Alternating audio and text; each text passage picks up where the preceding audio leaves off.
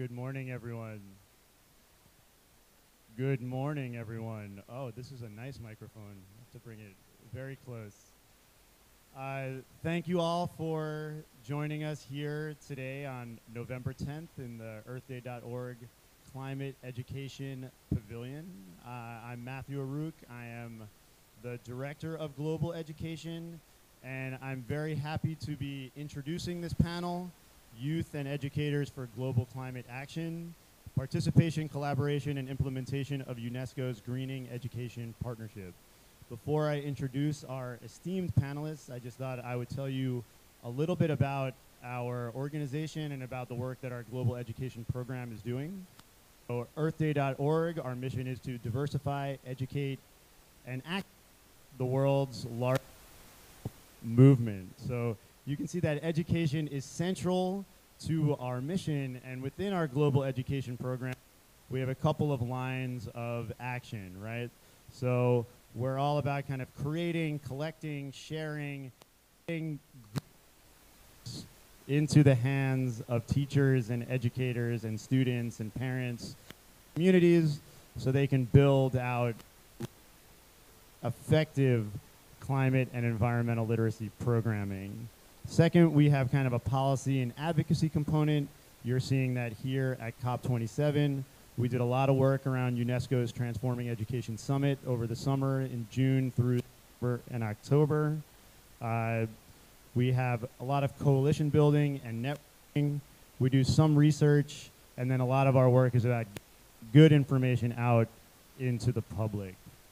So here at COP, our goal here is to get education and to really elevate the role of education and education-related issues in the climate action space. So we want to ensure that education is part of the negotiation agenda here, but also in all future COPs moving forward. So with all of your support and participation, we'll be able to do that. With that, I'll stop talking and turn it over to the panelists. So we have kind of three parts to our session today. First, we'll have some opening remarks. Then we have a panelist of youth and educators, and then some closing remarks. So to start us off, I'll introduce our opening three panelists who probably don't need much of an introduction. Uh, to start off our opening remarks, we have the Assistant Director General for Education, Stefania Giannini. Uh, that will follow by Professor Jeffrey Sachs from Columbia University, who's also the chair of Mission 4.7. Both Stefania and Professor Sachs are longtime educators working uh, within universities, working with education communities, and really pushing forward our education for sustainable development, education for climate action agenda.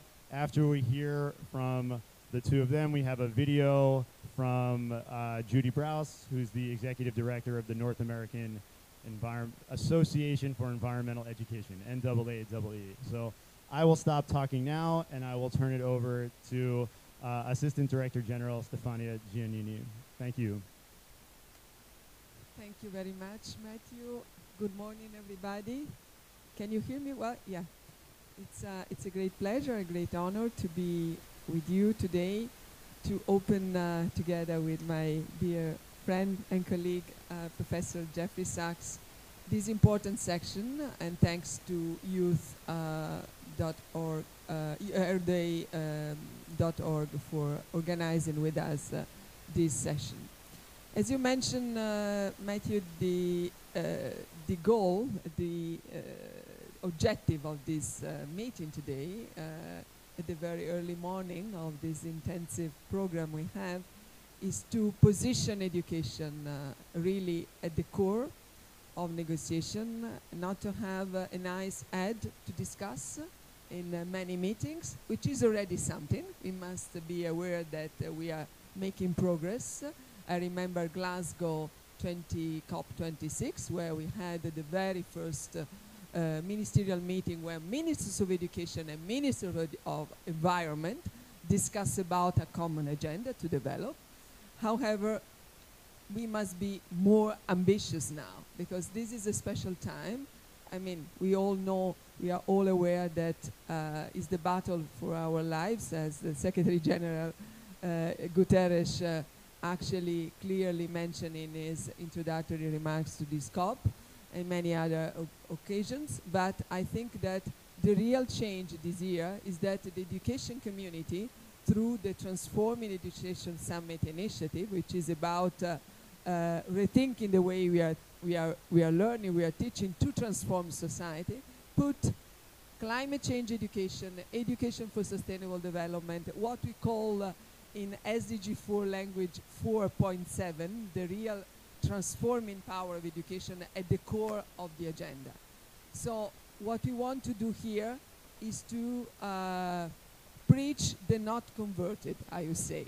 To, to, to say that, uh, to, to talk to all experts of climate change, all uh, activists, uh, all politicians, uh, leaders who are very much involved in this COP, that the next negotiation from Sharm to UAE next year have to include education as a pillar of the discussion and the agenda to address climate change effectively. Why that? Because education, I mean, we are, now I'm preaching the converted, I know, but we know that it's very much about the real tool we have to change mindset, to bring better knowledge, to raise better awareness, and to change behaviors. That's what we want to have and what we need at individual level, at society level. So we have, uh, I mean, also special uh, conditions to start from. Uh, as you maybe know, at the Transforming Education Summit in New York, we are together with other, maybe many of you, youth leading this process this time. We launch uh, a new alliance we call Greening Education Partnership, which is focusing on four areas, clear, simple areas to propose governments and ministries to implement, greening schools, greening learning, greening teachers uh, and making teachers prepare to address climate change effectively, uh, not only about the content, but also about uh, the approach, which is a, a whole school, an holistic approach. And finally, really last but not least, the greening community, because this is not a matter of business in the classroom. This is an approach which must go beyond the education uh, communities and constituencies.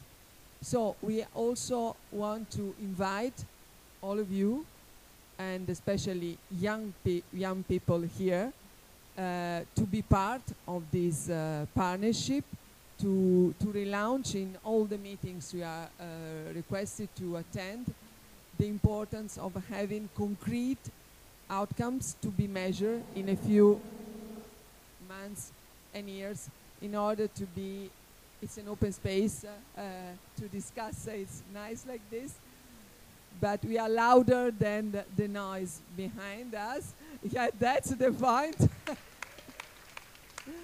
and uh, I really, I really wish to, to conclude inviting all of you also behind this nice open space to make the case for education for climate change because it's an important component. It cannot be a nice to have at the end or at the beginning of the COP.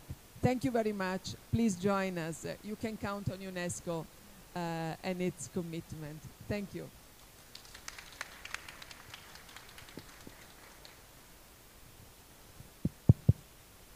let me let me uh, join in celebrating the importance of education for all that we're trying to accomplish. But let me even start stepping back for one moment. Our overarching ambition to shape the future we want is a sustainable development future where each part of the world is able to make economic progress with social justice and with environmental sustainability. We have 17 goals as a framework for that in the SDGs. But I really want to assert that SDG 4, which is quality education for all, is the central objective of all of the 17 SDGs. because there is no way that any society can make progress or make any kind of claim to decency or solve the problems of climate change or environmental sustainability without children being well educated, well informed, empowered, and also inspired by teachers and imbued with virtues of cooperation and understanding and a culture of peace and tolerance. And that's why in the SDGs, as Stefania mentioned, SDG target 4.7 is really notable. SDG 4 at the core. We need kids in school, we need them learning. And SDG 4.7 is we need them learning about sustainable development in the broad sense. Of course, specifically about greenhouse gases and anthropogenic climate change and mitigation and adaptation, but more broadly about culture, tolerance, peace, sustainable lifestyles, decency, things that children should learn in a classroom. And thank you to the teachers here for your commitment and contribution to that. My impression is that we're not in a good shape in general on this, however. And I remember when we walked into the Transforming Education Summit, there was a sign of UNESCO and UNICEF out in front of the United Nations, which said that only one in three children can read a basic paragraph, understand it, and explain it. And since then, we've had another study, rather grim, showing that even basic skills in this way are not being reached by well over half of children in the world today. And we know that hundreds of millions of children are not in school. And governments can't even afford keeping them in school in many low income countries. So I want to put our discussion even in the broader context. Education is at the core of a decent society. It is at the core of sustainable development. It is at the core of any of our hopes. And we really need, thank goodness for UNESCO's leadership, we really need to support a dramatic increase of funding, of effort, of political attention to the crisis of education so that we can ensure every child a future. And without that, we're really not going to make it, I'm sorry to say. So, this is our first task. When we have the resources, the wonderful things that can be done are inspiring, and we see that all over the world. In the Mission 4.7 program that the UN Sustainable Development Solutions Network with UNESCO and in support of UNESCO and with the Vatican and with former Secretary General Ban Ki moon and his foundation are seeing in our work to propound and propel Target 4.7 is inspiring teaching and inspiring young people taking up this call all over the world in very, very creative ways. We have a global schools program. If you are part of it, wonderful. If you're not part of it, I'm Sachs at columbia.edu, S A C H S at columbia.edu. Just drop me a note. I will connect you with uh, people who can help share curriculum and ideas and connections and networks to help you as teachers and your schools and your communities and your education commissioners locally and your ministers of education to really scale up this effort. One of the wonderful parts of teaching sustainable development is experiential teaching. And I just want to conclude on this point. we can do many wonderful things, but I think even at primary school, children can learn. By the way, I should I'll I'll caution in one moment, but children, I was going to say children can learn about the electricity in their school and how it can be made with solar panels or how it can be zero carbon. Of course, all over the world there are schools without electricity and without connectivity. This is impossible for the 21st century. Schools need to be connected. They can't be without infrastructure. They can't be on a dirt floor and a thatched roof or no roof anymore because we're not going to get what we need now. We need to mobilize the resources so that there is a basic infrastructure so that teachers can teach and share materials and connect students to online information and to students in other parts of the world and so on. But I was going to say that in schools with electricity or schools that are going to put in electricity with solar panels, even very young children can learn and begin to understand and make solutions and can be given an assignment. How can your school be green? And also, how can your school adapt to climate change? What does climate mean for you? For young children, they will understand. And then at secondary level, already young students should connect with the mayor or the district officer to talk about the sustainable development of the district, of how to bring electricity for access for everybody, to, but how it can be green. What are the threats of droughts or floods in the community? How to respond to those dangers.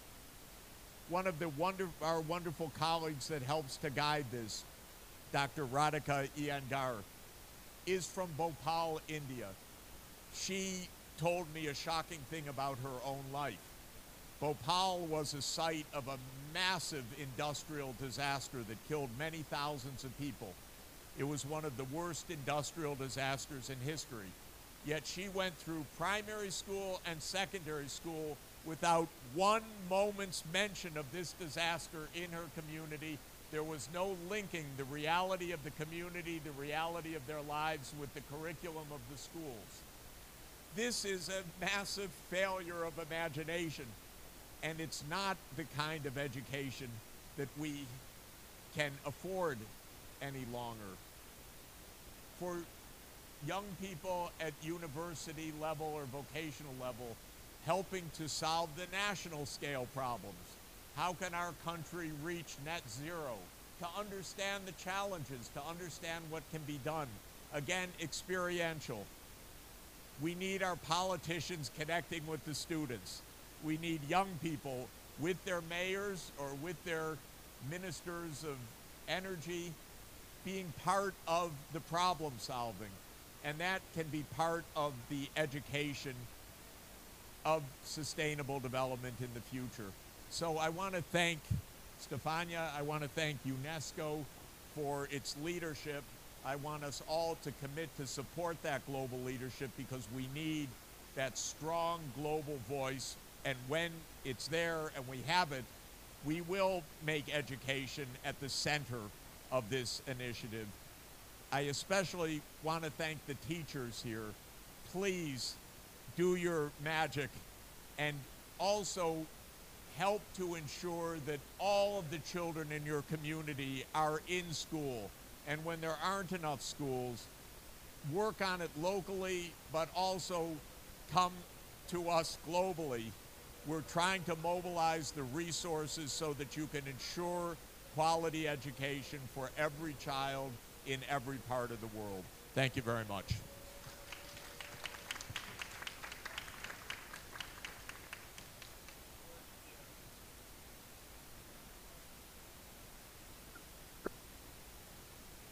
Hello, everyone. My name is Judy Braus, and I'm the Executive Director of the North American Association for Environmental Education. And I'm so happy to be here and be part of this panel to highlight the value of climate change education and the importance of youth voices. And I'm really excited to partner with EarthDay.org and UNESCO. I'm also really excited about Greening Education Partnership. Because it's so important to take a holistic view of education, which this program does. And I love the tagline getting every learner climate ready and the importance of lifelong learning. For those of you who don't know NAAEE, we are the professional association for the field of environmental education, and we'd like to say we're the champion and backbone organization, and we work with educators around the world to do our work. And we're all about advancing environmental literacy and civic engagement using the power of education to create a more just and sustainable future for all. And we also look at how we can help people become more active in civic life and engaged individually and collectively to create change at whatever level people are working at. We're also, like so many of you, focused on justice, equity, diversity, inclusion, and accessibility, looking both internally at our in organization as well as across our partnerships and the work we do globally. The other thing we look at is how education can actually help address all the sustainable development goals, including number four, which is critical about quality education. NAAEE is a network of networks, and we do work with a lot of different networks across North America and around the world. And one I want to mention is the Global Environmental Education Partnership, or the GEEP, which is um, really all about strengthening environmental education by creating this inclusive learning network where we share and learn from each other, share effective practice, and work together to strengthen environmental education and we work with the Environmental Protection Administration of Taiwan, with the U.S. Environmental Protection Agency, and together with advisors from around the world, are really looking at how we can strengthen environmental education and scale up the work that we are doing and providing a safe space for all of us to meet and to talk about what we can do together. And we're so lucky to work with these incredible organizations and networks. So climate change is why we're all here. It is the issue of our time. It impacts every other issue that all of us are dealing with. Our tagline at NAAEE is what is the education we need for the world we want? And we think about this in the context of just because we've been doing something doesn't mean we should keep doing it. What is it we need to do to create that world that we want in a changing climate? And so we believe education is a critical tool in our toolbox for addressing climate change. And there are so many ways that we can advance this work and scale up our work together. And we're working on a number of initiatives and partnerships that look at doing research and reporting and looking at policy and I'm not going to have time to go into all of these, but I encourage you to check out our website to find out more. And I'll just highlight a few things that there is growing data on the status of climate change education and the gaps and opportunities that exist for all of us in terms of how we can move forward. And one of the projects we've worked on is something looking at mapping the landscape of climate change education in the United States with a focus on policy, but also education in general, working with a number of wonderful partners. We released a report on mapping the K through 12 landscape, and that is on our website if you want to get a copy of it of what we found by doing the scan across the country. And these are just a few of the recommendations, nothing surprising here, except the fact that we know we need to do more, and this shows us where we can have that impact and how we need to focus more on the quality and quantity of what we're doing and thinking about things we haven't thought as much about in the past, like what does it mean to take climate action, incorporate indigenous knowledge, focus on climate justice, and many other things. We also have a higher education report coming out, and that should be released in the next month, looking again high level at what's happening in higher education and climate change education policy. And then we just finished a climate change education survey of 800 teachers and administrators across North America. The bottom line, not surprising, we need to do more, but there were some hopeful things. The teachers and administrators are really concerned about climate change and they want to do more and they want to see it integrated across the curriculum in K through 12 but they also gave their schools and districts low scores. So we have a lot to do. They need more support, more resources, more training, and we can do that as educators. So we know what we can do, and we know we can help improve um, this report card. And I want to thank our partners at the MEES network and the SEPN network, and they have a booth here, so you can check check it out with Marcia, Nicola, and Kristen to find out more about this project. And we also are working at climate on climate change education policy. Happy to tell you more about that. And you can also check out our website. And a big thank you to my colleague, Sarah Bodor, who is the Director of Policy at NAAEE. And there's lots more on our website. And I also just wanted to say one last thing before closing about the importance of building leadership. And I'm so happy there are so many young people on this panel and at COP because we cannot do this work without strong leadership from so many people. And young people today are leading the way and they will continue to lead the way and we all have to work together. So building leadership is critical.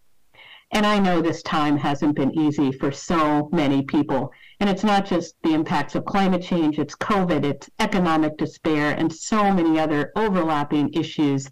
And we know the impacts. We've seen what is happening around the world with flooding, with storms, with ocean acidification, with rising sea levels, with fires, with drought. And we also have seen the impact of this negative news and what it does to our young people. 75% of young people say they are frightened about their future, and that is a frightening number.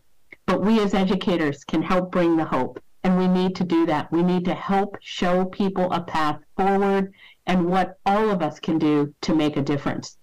If you're really depressed and anxious, you can't do the work.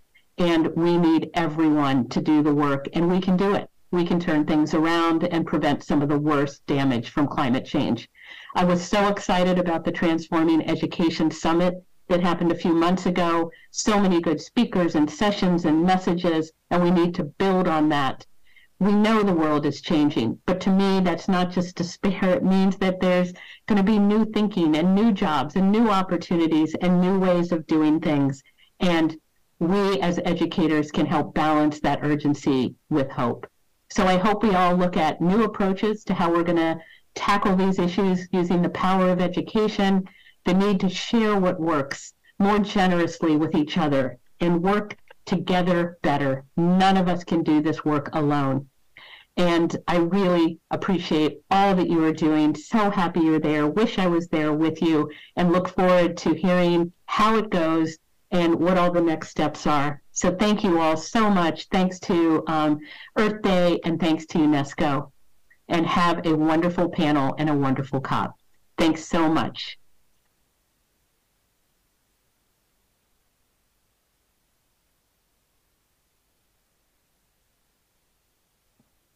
I, ju- I just want to thank uh, Professor Sachs uh, for participating in the panel. He has to run off to another meeting, and also Assistant Director uh, Giannini for her opening remarks, as well as Judy Braus. We're going to move on to the, the second part of our event, which is a, a moderated panel. Uh, our moderator is Ms. Judith Barna, who's the head of education sector for of international partnerships with the European Commission, and she'll be joined on stage with a panel of uh, youth leaders and education educator leaders, uh, including Zuhair Kaushik from EarthDay.org, Renata Koch from Empodera Clima, Sifiso Ndlovu, who is the CEO of the Zimbabwe Teachers Association, and Saher uh, Sahid Beg from MOCCOP. So if, if the five of you will, will, will join us here up on the stage, we can uh, get the next part of our session started.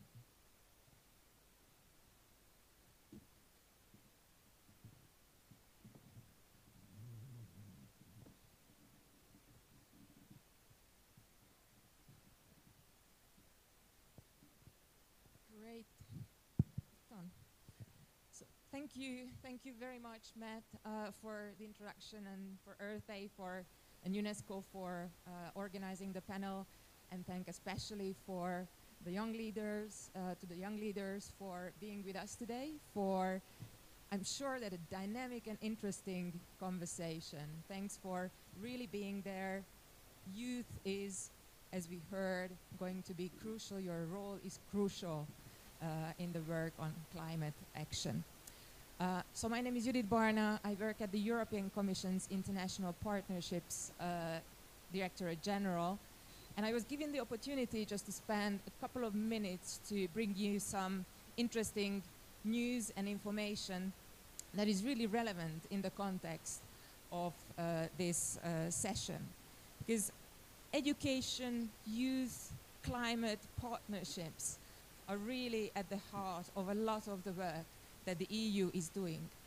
In the EU, we have the ambitious European Green Deal, and I think we can all recognize that education and youth will be really crucial to be able to reach those ambitious goals and uh, address the causes and impacts of uh, climate change. And some new novelties uh, in that regard. The European Council adopted in June a recommendation to EU member states on learning for the green transition and sustainable development that recognizes that yes, a lot of great work has been done, but we need to step up efforts and support learners and educators uh, even more. We have an exciting new competency framework, the so-called Green Comp, which very much speaks to uh, the goals of the partnership. Uh, it is to support educators and learners to embed uh, environmental sustainability topics into education systems and curricula across EU member states. It is not new, but I wanted to mention the Education for, Cli uh, for Climate Coalition, which is a participatory community uh, that brings together teachers, students, uh, various education stakeholders to act collectively on innovative solutions uh, for uh, the green transition. On the climate side, we have the flagship initiative, the Global Climate Change Alliance Plus, which is active with projects in 34 countries across the world. And it is great news because 24 of those are targeting education and youth.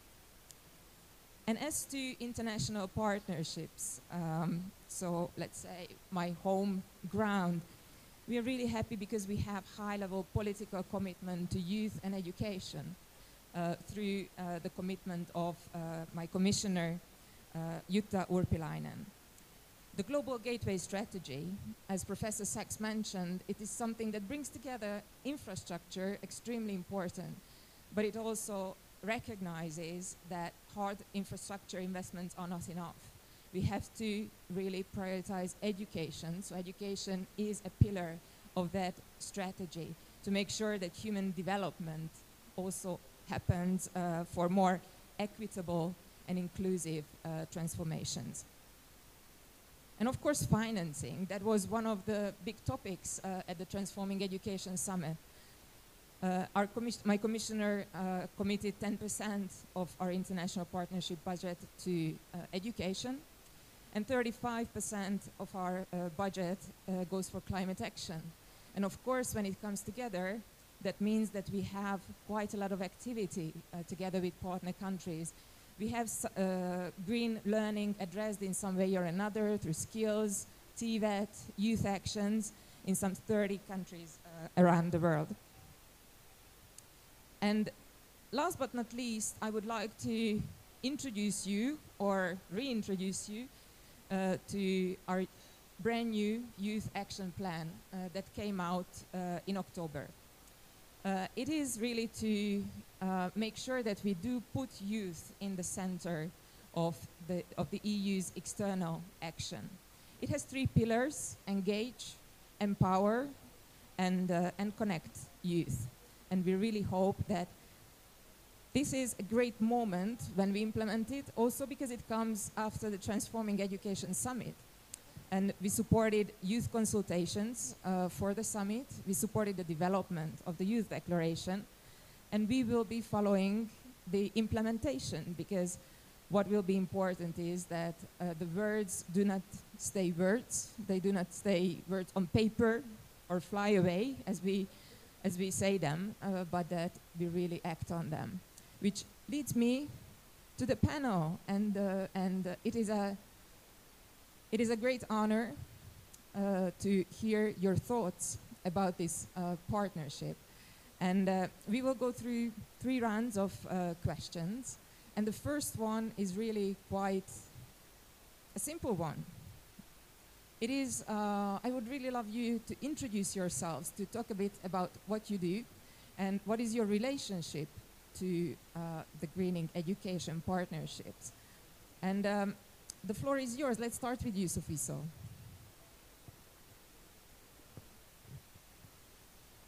Thank you very much, moderator.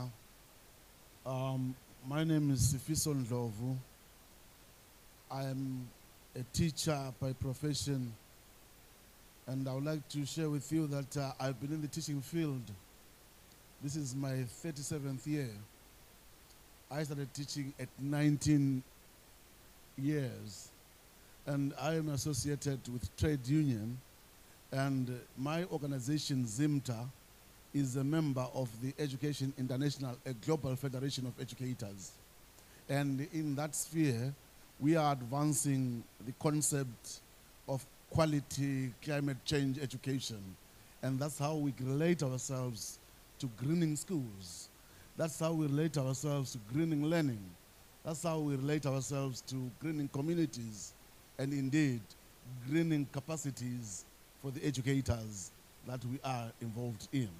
So briefly, that's who I am, and my presentation, therefore, today intervention is talking to that greening concept in that sphere. Thank you very much. Thank you very much, Sophie. So indeed, teachers are at the heart of what we would like to achieve. Uh, Saher, can I go over to you? Yeah, sure. Thank you so much. Uh, so, I, as I'm representing MOCCOP, and both MOCCOP and the SOS International and SOS UK are members of the partnership. So, what we do at MOCCOP, for example, is that we all of our all of us as young people push forward the policy demands focused on climate justice and education, how to make education green, but also not in the only in the classrooms, but also outside the classrooms, about which we will talk, you know, in the next question. So I think that this is a very short, nice introduction about the partnership and the relationship of ours. Thank you. Indeed, you're absolutely right. We are talking about formal education, non-formal, but also informal education. There's so much uh, to do there as well. And uh, next, uh, Zuhair, and maybe I can also share the mic with you, so the other can pass among the others. Hello, I'm Zuhair. I work with Earth Day, and I'm a. I think it's working now.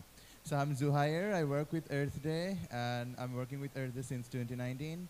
And I'm a youth climate educator and policy advocate from Bangladesh. We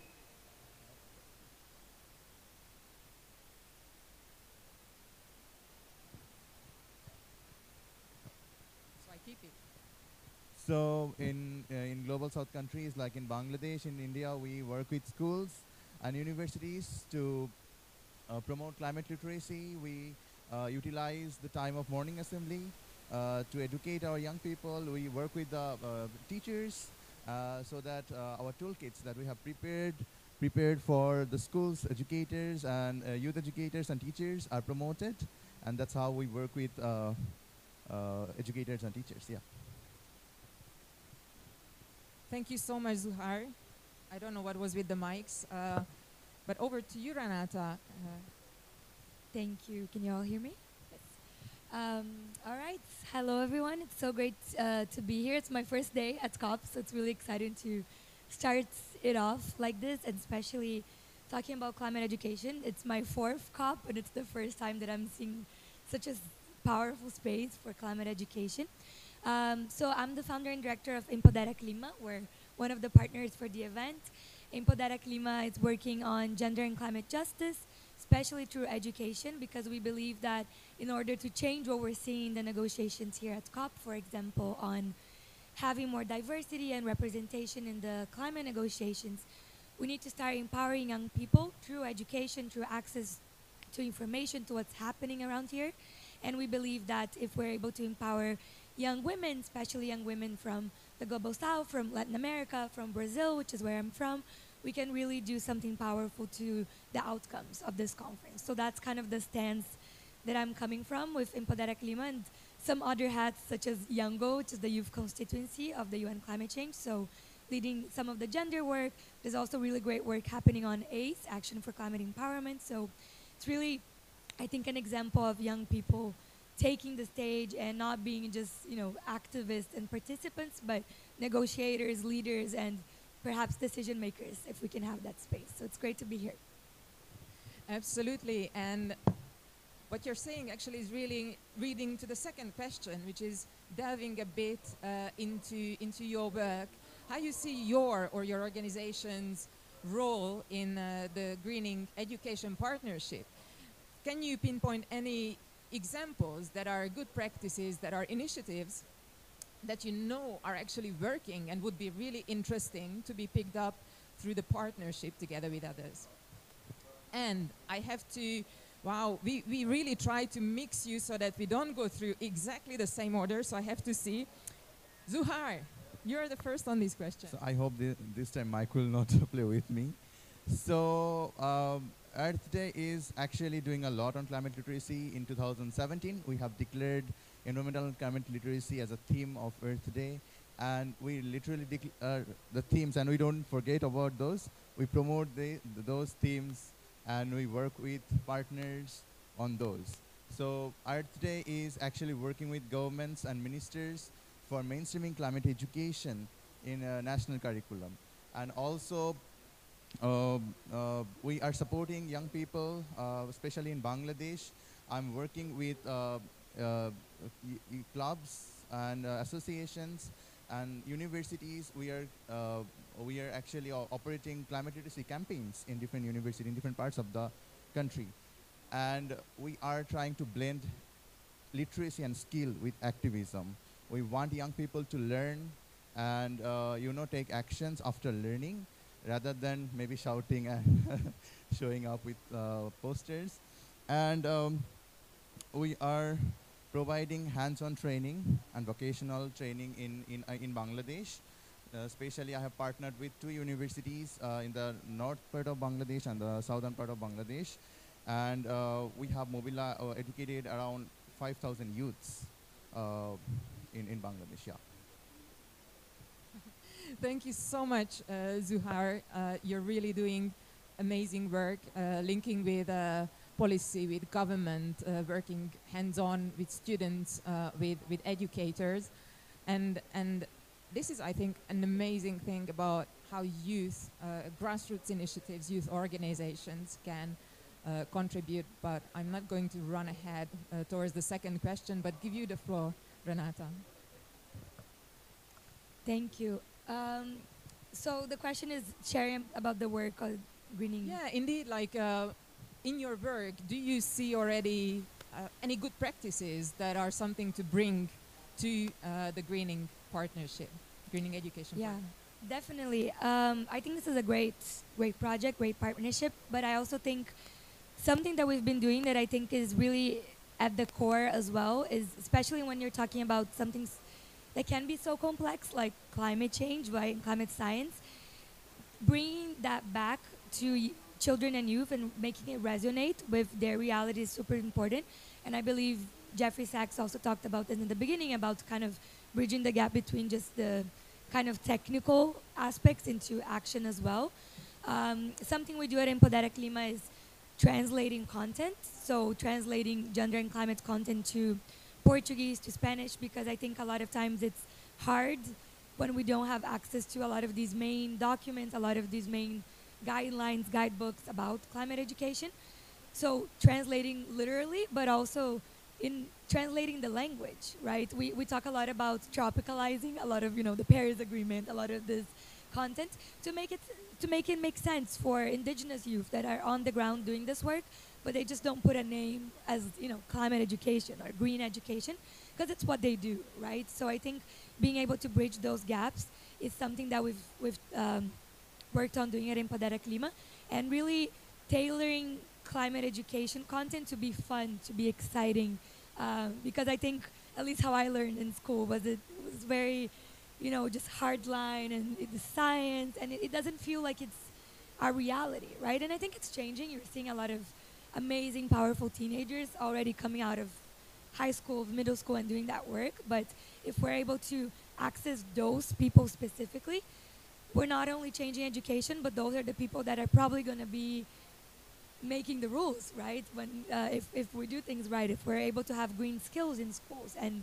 do that type of work, um, and then the last thing I'll say is just making sure that um, we're intersectional about it, because there's really cool studies that I can share statistics later as well about girls' education for climate and how when we're able to empower young women and girls with green skills with kind of really practical experience that they can then use and to get jobs in the green economy and renewable energy.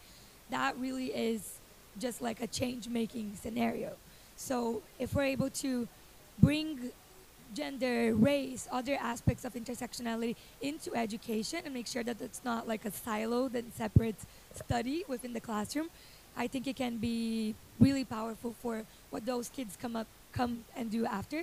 So it's what we're trying to do with Empodera Clima, but we're just small organization and we need the education system and decision makers and everyone that is on that powerful decision making tables to be on board with that as well. Thank you so much, uh, Renata. So indeed, intersectionality, really, really important. And as you pointed out, speaking the language, speaking the language of youth. I mean, if we want to reach them, of course, translating, but really the way of bringing messages home to them and allow them to take those messages uh, further amongst themselves and not just amongst themselves is uh, and will be crucial uh, for uh, this partnership. And uh, Sufiso, in um, from the point of view of educators, Yes, uh, thank you. Um, let me start by mentioning that uh, from the education international point of view, right up to affiliate levels, the belief of quality climate change education is strong. And that's why we believe that it, it is the taproot for education for sustainable development. And as a taproot, we also believe that it is a lifelong experience which means it is a continuous process that we should see innovation coming in into education. Not only lifelong, it is also life-wide. Life-wide meaning that uh, we are looking at those values and attitudes that become the rail card of education for sustainable development and quality climate change education. And we talk of also life deep. Life deep, we are talking about the skills and knowledge that the learners must get. And that is what will inculcate their sustenance in terms of lifelong, life-wide education for sustainable development. And then what are the roles of education? Or precisely, what have we done? And if I may talk about acting locally and influencing globally, in Zimbabwe, we have instituted a curriculum review, which was a strong advocacy from the educators. A curriculum review that has now mainstreamed climate change education into objectives that cut across the learning areas. We no longer call them subjects, we call them learning areas because they are seamless in integration and therefore climate change education becomes a cross-cutting uh, view which is now part of the curriculum. And that has been going on since 2015. And in 2022, we are marking the end of the seven-year period, and we are now going into a review of that curriculum. At tertiary level, we have encouraged the encouragement, the, the, the development of inheritance education, which is in heritage education 5.0, which takes into consideration the understanding of the learners of their environment so that they can manipulate it and survive in it and taking advantage of their innovative nature which they have. That is a strong action that we've taken and we're moving forward with that action. But we don't stop there. We have a, a research unit at Education International which we continue to do research and researching on what? On development of participatory learning pedagogies which will unleash the potential of educators into participation. And of instance, I'll talk to you about um, our thinking around um, this event, for example. This is a good learning env- environment. If we were part of the process in organizing it, I have said, why not involve the youth in dealing with what we'll call adversity profiling? What is this uh, event about climate change done to produce what is dangerous to the climate that we are talking about? Then the learners begin to profile how we are impacting in our actions day to day on the environment. And when they do so, they can then bring about the necessary knowledge that we also learn and exercise. So this is a practical example. Uh, I have done that with um, my own ideas of saying, let's act locally. When I say locally, act within your home first before you can go out. And I've done that with on my own children, my own son, who, who has taken up interest in this. As I talk about climate change and sustainable environment, he has taken interest into it, studying an honors, uh, bachelor's honors in urban planning, emphasizing on waste management, solid waste management. He has taken interest into plastic, and that has shown us, even at home level, managing the plastic that we do.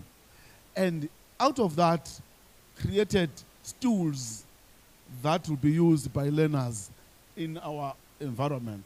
Now we have begun to collect from the environment, the neighbors, and on to the community. That's influencing locally with a correct attitude and skill, and then you can impact globally. That's the beginning of how we can change the world when we act locally and then we can influence internationally. So, in short, therefore, we are introducing the uh, concept of resilient education. This is how education can sustain itself and become resilient against adversities and perpetuate existence. In short, that's what we are doing, and that's what the organization has been doing, and we wish to continue in that sphere. Thank you very much. Thank you. Thank you very much. You brought very important considerations. Uh, of course, SDG 4 is about lifelong learning, but indeed, up until now, we haven't mentioned lifelong learning in this panel yet. You brought the importance of, yes, global influencing, global events are extremely important, but ultimately, we need to see change happen at home, really at home, and, uh, and, and, and locally. And also, you mentioned research without research, without more evidence, it will be very difficult to move forward. Thank you very much. Zahir, over to you. Yeah, thank you so much. Uh, and I'm, I'm feeling really happy that I came last this intervention because it was amazing seeing what you all have mentioned and how we have a lot of interlinkages with what we are doing at MOCCOP, for example, because this is what it looks like. And I'm, I'm specifically really proud of what MOCCOP is doing because we are proving that young people are not only the ones who need to be, you know, at the core of climate uh, climate education or sustain education for sustainable development, but they are the ones who are driving this for this agenda forward as well. So we have two of very good practices to share. One of them is teach the teacher, and the other one is called teach the parent.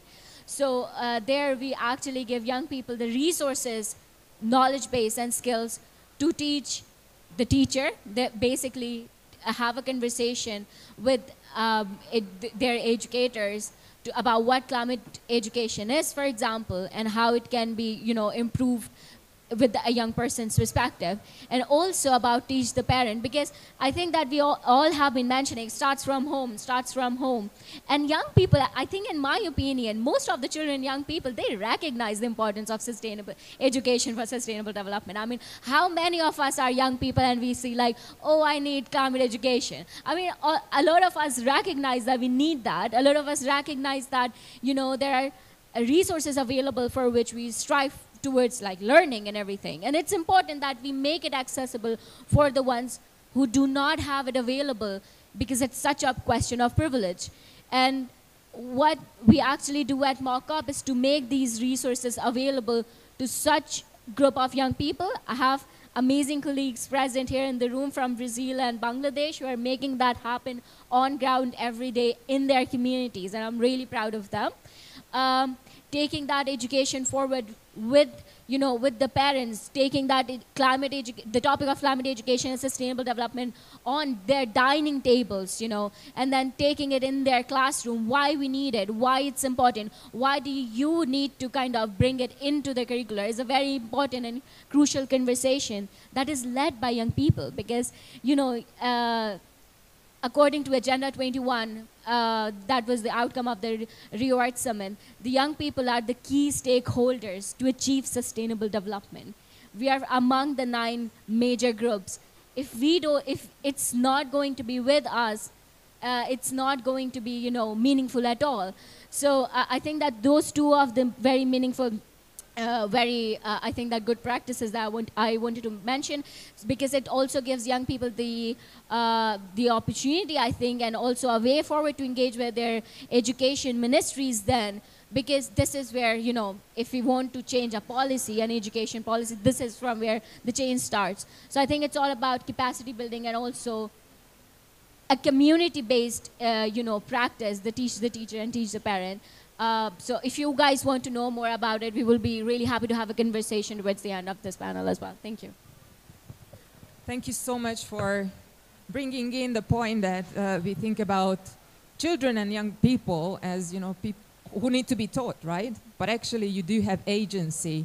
You do have a lot of opportunities to also uh, influence and teach teachers and within your own households, your parents and your communities. So thanks a lot for that. And we stay on the question of youth, of course.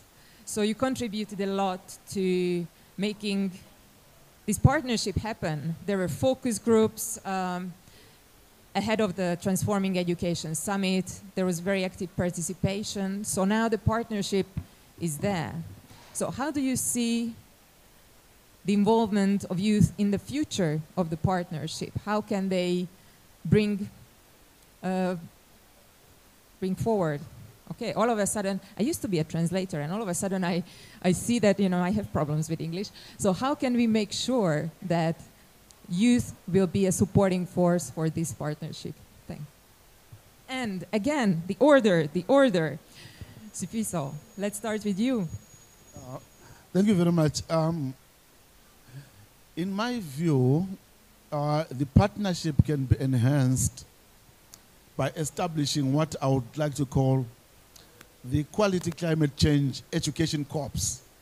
That means we are getting internationally networked as young people and uh, crossing across, uh, giving a cross-boundary education about the effects of climate change in our various continents.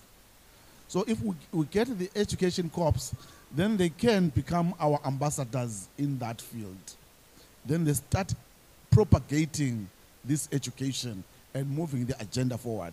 That's an important element to me of this education corps that we are talking about. It's an army that we have that we can unleash to the world to educate the world about climate change. That's how I see the youth coming in in a strong way. Thank you very much. Thank you very much. And uh, Zaher, now it's not, you're not the last, so Yes. Well, I mean, I still feel lucky, anyways. Thank you. so, uh, no, I, I think that uh, bringing back the point again, right? So, uh, where I ended, making, uh, giving the young people the skills to engage with the decision makers, the environment ministries, the climate ministries, uh, the ministries of education, because it's a very interlinked role to then integrate the policies that they want to see, for example, right? Uh, in these uh, at the end of the day. Just want to also highlight one of the most important point here.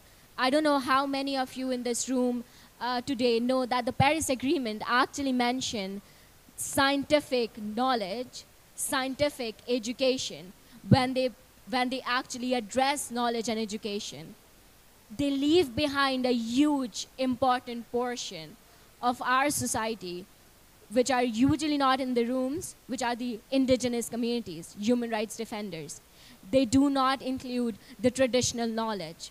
If we still leave that behind while we are making sustainable development uh, as you know at the core of our education system, we leave, still leave behind a huge part of this, you know, making the ambition, turning the ambition into action element, I think, right? Because a lot of the people, they don't even know, and this has been going around. And this is why bringing the young people in these spaces like COP is important. It's crucial because they know what they're doing. They know what they're advocating for, right?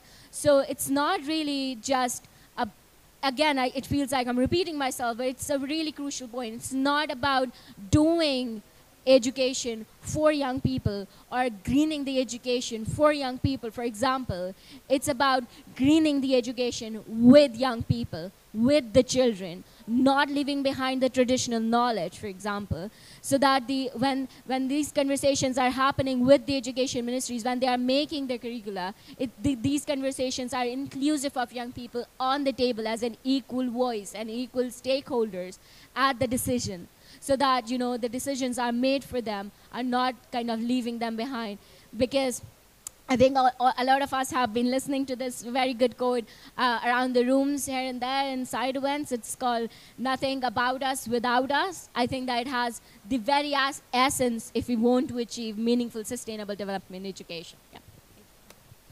Thank you so much. So, education cops, ambassadors, having a space at the table, uh, discuss really with decision makers and inclusion, uh, leaving nobody behind, as we say very often uh, amongst education actors, but this is really something uh, that, uh, that we can bring home from this uh, conversation as well.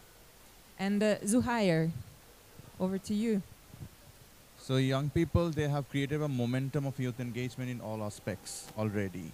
And uh, in this partnership, I, I think that with fierce advocacy, we have a room to um, incorporate climate education in the national curriculums where in, in many countries we don't have mandatory climate education. I mean, I think that young people, they have to push for this through their fierce uh, advocacy. And then uh, uh, also the, the, recent concern that we need to engage, need to incorporate environmental human rights-based approaches in our education that should be uh, taken into consideration. And I think young people as mobilizers, you know, advocates, they can do that. They have to push for that. And also young people, it's not just young people that we need to um, uh, uh, work for this partnership. Also, we need to provide education to our older generation to change their attitude and actions uh, towards climate action. Yeah. Thank you so much. Indeed, it is so right. And uh, I think in many ways, youth are actually leading the way and definitely not following. So thank you. Renata. Yeah, it's, it's tough to be last this time because I feel like there's a lot of powerful statements that have been said already. Um, so this specific question made me think of the Transforming Education Summit uh, and all that we represented. Um, this past summer, I was a fellow at the UN Office of the Youth Envoy, so I got to help shape uh, the Youth Declaration process, which was this amazing, powerful document that was submitted to the Secretary General and then informed the Transforming Education Summit decisions uh, in, in summary. But it's really, really a powerful document that was shaped by, with, and for youth in, in all senses. Uh, and I got to see a little bit of that process, and I mean, UNESCO led that really beautifully. And I think it really shows that youth are, it really showed an example of youth being key stakeholders in the decision making, right? It's not like we're doing a survey, you can put your decisions, and then with that, we'll decide on something. It's youth writing what they want this declaration process to be. It's youth thinking about what their local national realities mean and then bringing that to the global level and you know seeing where the overlaps the gaps are in, in, a, in a more global perspective so i think that was a super powerful example and if we can kind of mimic the youth declaration process in other areas and we're able to bring young people in that role i think that would be super powerful and the other thing i was thinking about is connecting the dots because i feel like there's more and more, luckily, right, um, climate education initiatives happening and different organizations talking about it. But I think sometimes we're not as much in, in sync.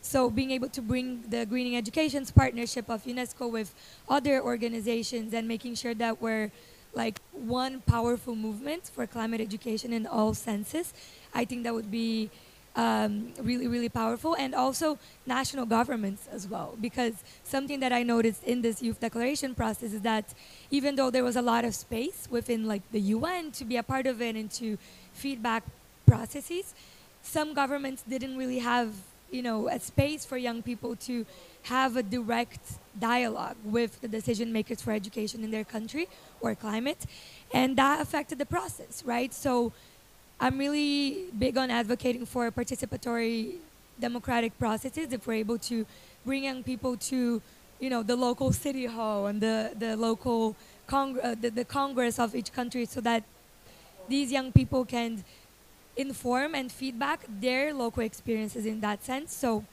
I think we're doing that. I think the climate hub here, climate education hub here is super powerful.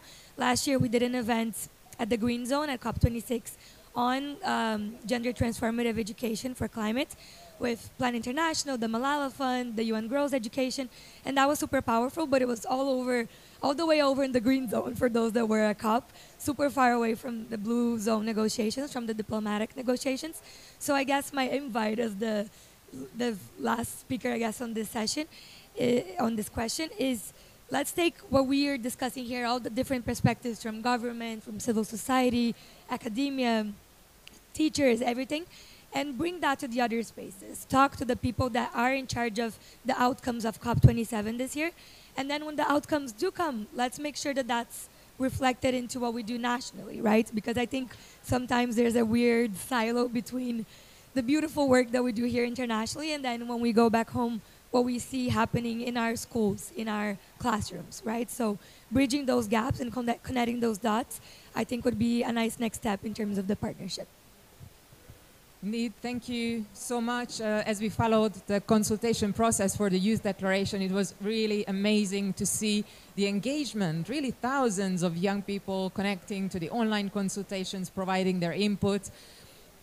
Also, it will be interesting to see that these are great processes that influence outcomes of, let's say, big campaigns for big events, but how can we, let's say, replicate similar uh, inclusive and engaging um, ways of working in more, let's say, everyday work uh, when, when we go back home. And also, indeed, there are a lot of stakeholders in this partnership, everybody with their specific added value, their experience, their knowledge, their know-how.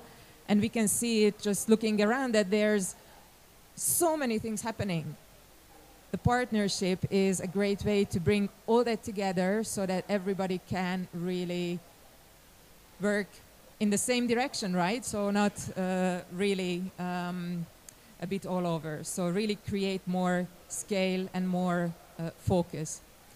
And with that, I don't know, Matt. Do we have um, do we have questions in the audience? Maybe we have some time.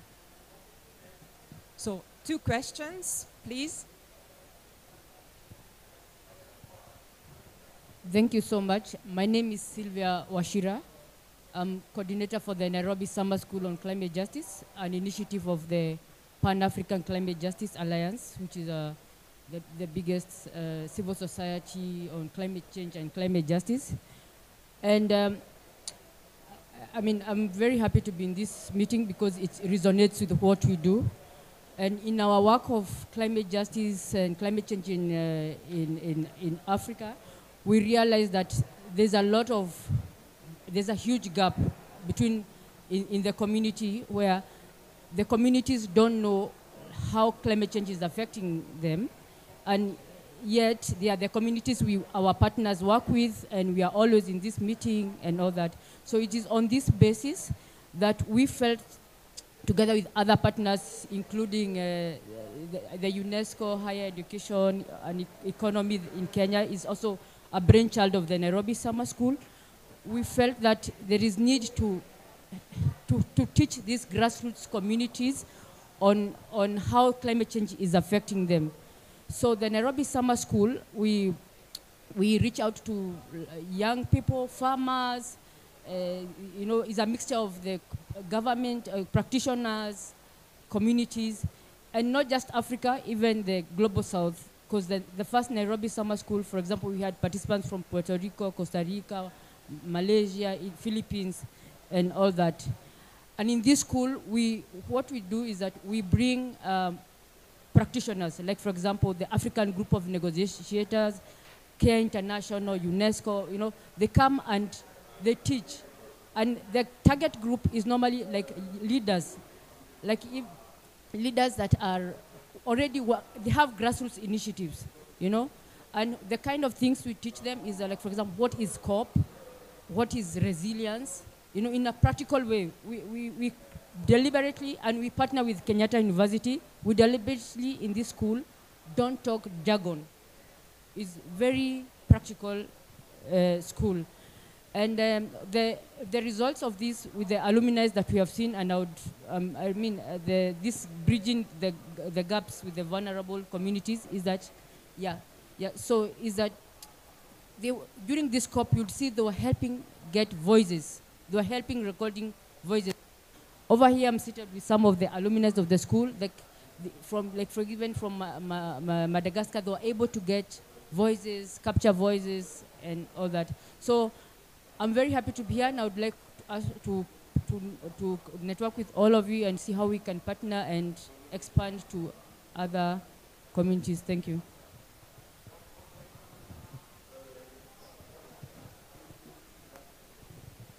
I'll try to keep it very short. Uh, my name is Ismail. I work with UNICEF. Um, thanks very much for uh, sharing. Um, just a question. Uh, I mean, in my experience, uh, when we talk about partnerships, uh, of course, we are talking about the supply uh, where the education system comes into place. and oftentimes, there is quite a bit in the edu education scene where there is not really openness to integrate climate change education. Oftentimes it's just treated as uh, scientific uh, information um, and it's not really uh, tailored to the current challenges. So my question to the panel here is uh, how to get this buy-in from the educational uh, stakeholders. Uh, and of course on the demand side, um, how about the private sector? I think that's also something we need to look into because eventually the skills that we are learning is not just uh, to save ourselves from the impacts of climate change, but also to make them useful, you know, to contribute to addressing uh, some of these uh, challenges. And the last point is uh, about, I think there was something mentioned about the narrative, to localize the narrative, because so far a lot of content is quite Western. It's not really localized to the issues of the global south, if I may call it so. So how to localize the narrative so that people can really relate to uh, knowledge and the issues of climate change. Thank you.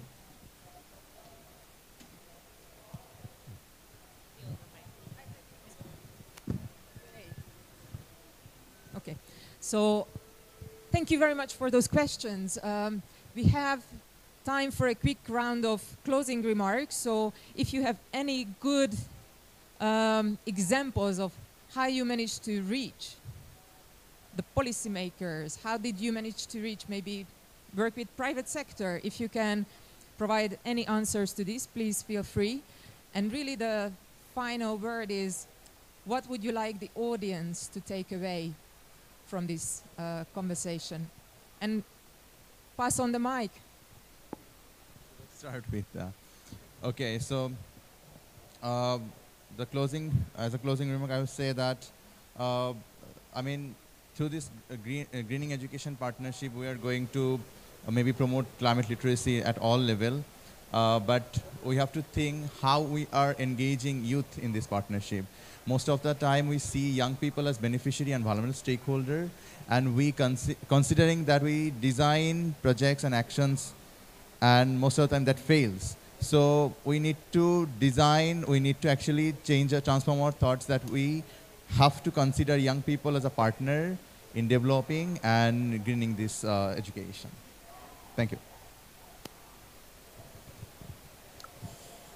Um, this has been a great, great conversation, and thank you for the comments and questions. Um, I think there's a lot that we could keep talking about, but unfortunately, we don't have that much time. Uh, so for now, I'll just say, um, I think it's really important that we bring this discussion that's happening here forward, and I can't emphasize that enough past COPs, you know, whenever I talk about gender and climate, for example, there's so many people, including negotiators, that don't know about it and not aware, and the stakes of that. We need to understand the stakes of not having climate education at the center of the discussion, not have having gender and climate justice at the center of the discussion, and that's why the meaningful youth engagement and participation changes things because we know the stakes, right? Where yes, it's our future, but it's our present now too. We're seeing that, especially in more vulnerable communities. And so, as I think has been said in the comments too, I think it's not like we need to give the voice to young people to do this or anything.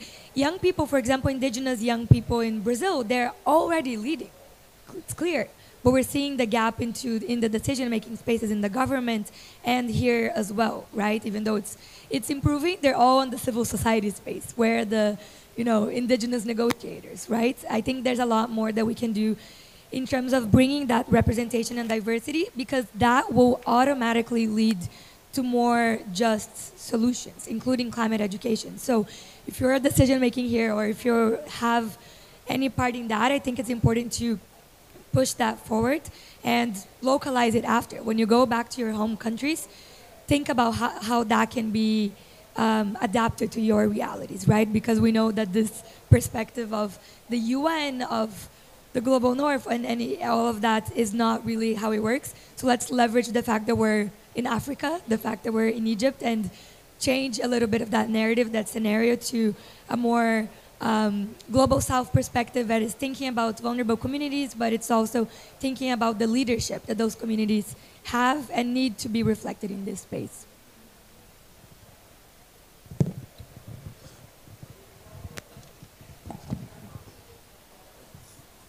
Thank you very much. Um, I think there are two very important linked question, uh, rather comments and question at the same time.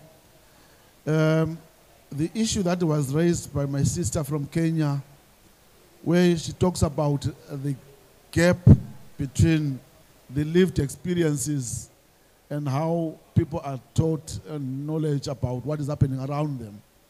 And I link it to the issue of uh, buy-in and community participation. Um, that is very important because we definitely have to include communities. But in the approach to the community problems, we don't identify problems for them and then we bring answers to them. That's the, that, that's the approach that we should avoid as much as possible. Allow them to identify the problems and then bring the solutions where you come in to facilitate.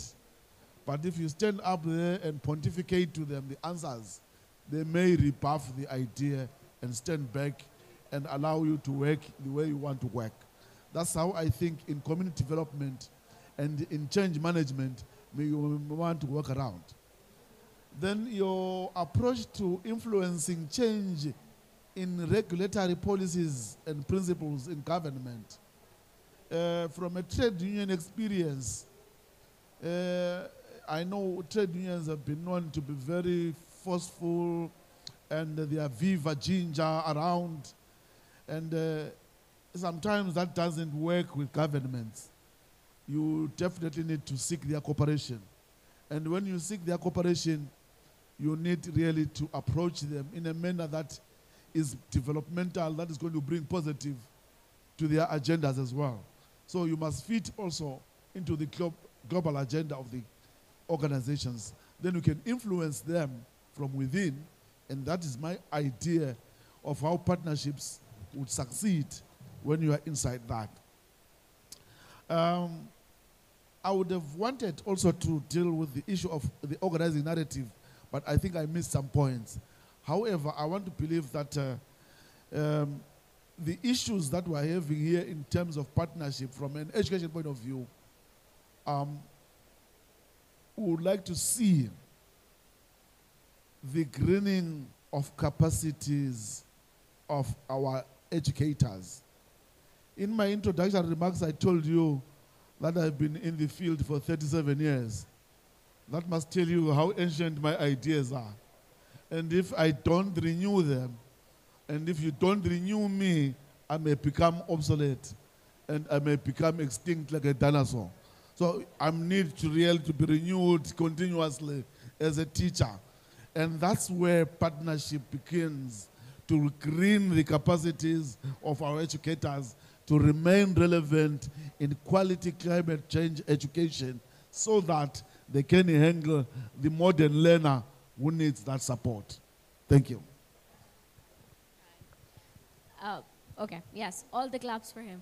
But uh, I really love the question that you mentioned, especially the last part of it.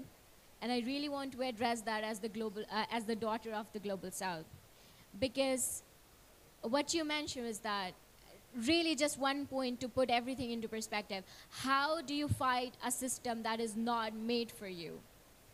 You forget the you and you forget the I and you forget the we, you just focus on us. Because all of these spaces are a huge question of privilege.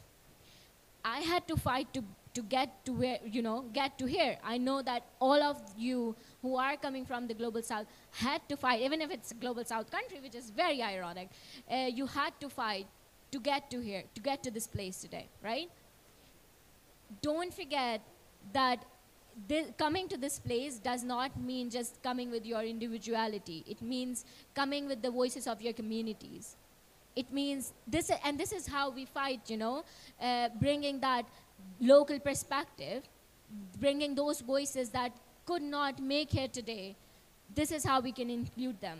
Because we have to be as young person or even you know when no matter where you're working at no matter what you're working with in the climate education you have to recognize that climate justice is a matter of political will and it's not a political will only by the system. It's a political will of every single individual present here in this day, room today. You know i choose to represent the voices of people who did not make it today in this room. And we all choose to represent you know the voices of the, for, example, the indigenous people. We don't have to talk on, on behalf of them, but we just, where, whichever room we are in, we just have to make sure that those local perspectives, those local voices are mentioned there, you know, so that the world leaders don't forget them while they're making those policies. This is the basic responsibility that I see, for, at least for myself, right? So uh, I really think that, you know, working at local level, this is how we can actually bring those perspectives into the room. Just talk to your community more. Be like, be more community oriented. Young people have consultations all the time. I think that my colleagues, again, my colleagues here, work a lot at, you know, at the grassroots level at, at the Global South. Both of them are from the Global South, I think. So they're bringing all the voices together. So if you are a young person, just engage in the community share this space because this space only gets you know wider and stronger when you share it uh, and as many as as many diverse voices just as renata, said we can bring to the table the more you know the more amplified amplified the message can be so yeah got a little emotional but sorry for that yes.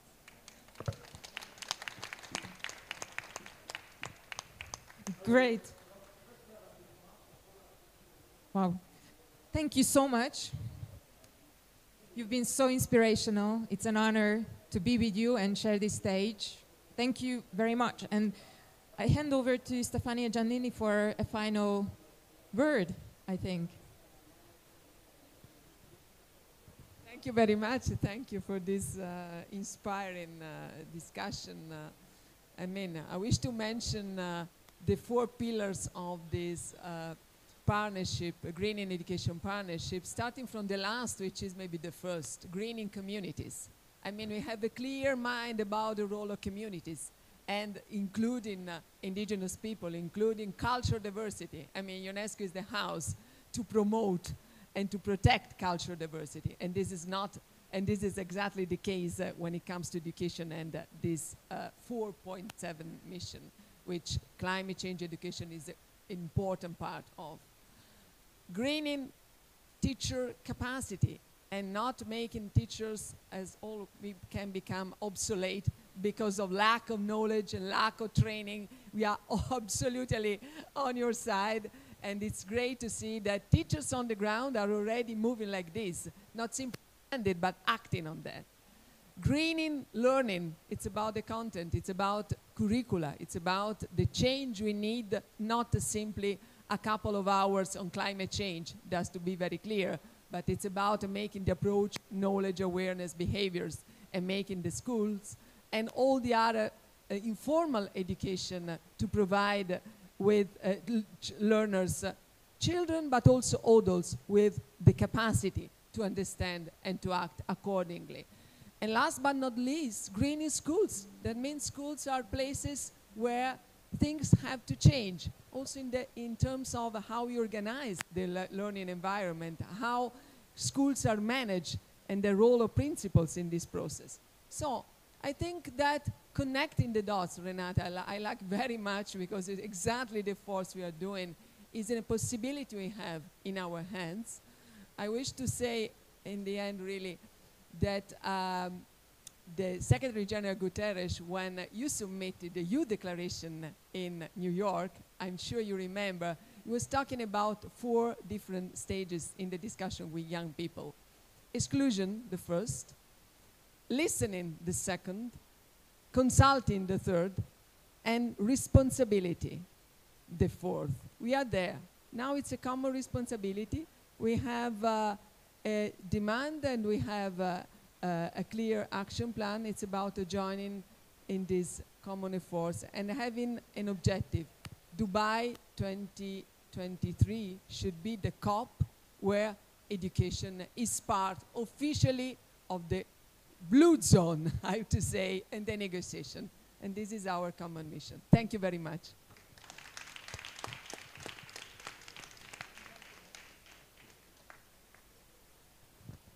So before we wrap up and, and give applause to all of our panelists, if you enjoyed this event and this session, just after this, we have another uh, exciting education-related event hosted by Education International, where they'll talk about educators on a healing planet. So please stick around and, and, and learn some more uh, with us and teach us some things as well. Uh, but with that, I'll, I'll close out the event. Please, a, a round of applause for all of our panelists. This was excellent, and, and thank you all for showing up. Uh, please follow our work at, at earthday.org. Thank you again.